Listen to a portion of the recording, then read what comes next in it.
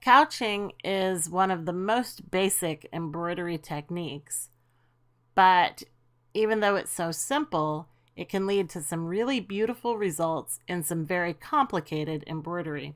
So it's worthwhile knowing how to couch. Couching involves two threads, the laid thread, which is this gold thread here, and a working thread, which is the red thread. The laid thread lays along your design line, so here it's just this line on the fabric right there. And that's where the laid thread goes. And then the working thread just sews it down with stitches over the laid thread. So you just come up above the laid thread and then take your needle down just on the other side of it. And in regular couching, you don't go down in the same hole that you came out of for your stitch.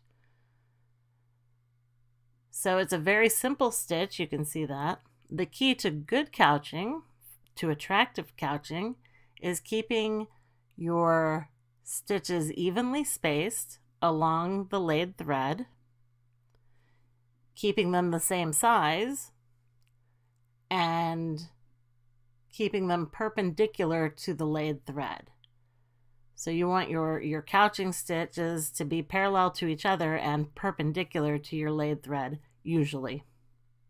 You can achieve interesting design effects by changing around your stitches, and you can even use different types of stitches to couch. But this is the simple, basic couching stitch. And that's it. So for more tips and techniques on hand embroidery, stop by and visit me at Needle and Thread.